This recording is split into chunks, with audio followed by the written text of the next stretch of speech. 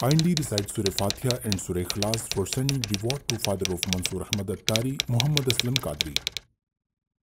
असद भाई ख्वाब में इंसानों को फोत हुए देखता हूँ मुझे ये ख्वाब अक्सर आता है इसकी क्या ताबीर है या तो सोचते होंगे या फिर ऐसी खबरें सुनने के आदि होंगे और वही चीज़ें आपको रिफ्लेक्ट करती हैं ख्वाब के अंदर नज़र आती हैं तो तवज्जो ना करें ज़ाहिर है कि एक बंदे की तबीयत पर भारी पड़ता है रोज़ाना ही कोई बंदा मुर्दे को देख रहा हो तो कहेगा कि यार मैं तो ज़िंदा हूँ, लेकिन जब भी सोता हूँ, मुर्दे ही देखता हूँ